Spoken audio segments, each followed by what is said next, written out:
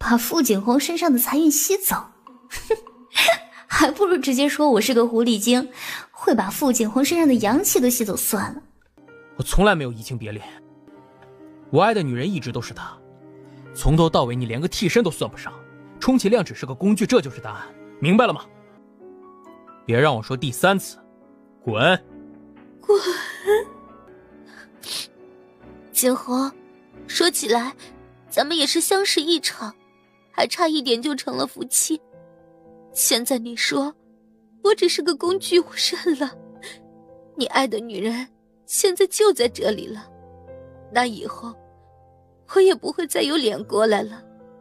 平姨再怎么说，也跟我相识一场，而她又改写了我的命运。我也不是那种非要纠缠的人，对你。我以后不会再抱有任何的想法，但我还想在平姨面前尽尽孝，我就住在这里两天。两天以后，不用你赶，我也会走。这里不是你该待的地方。我知道，什么都知道。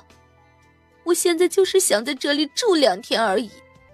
这里是平姨的家，我想等下平姨醒了问问她。如果他也不同意，那我立马就走，以后再也不会出现在他面前。傅景洪心里想：以前怎么没瞧出来，这女人心里弯弯绕这么多呢？